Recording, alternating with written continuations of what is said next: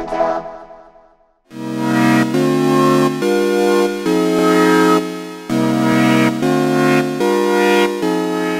9 is Custom Chord Mode. Custom Chord Mode works similarly to Chord Mode with the same pad layout and output assignment, only now you can select four specific notes for each of the four pads. Once again, when using this mode, you should first tune your oscillators while sending them all the same note. Select a pad by touching it.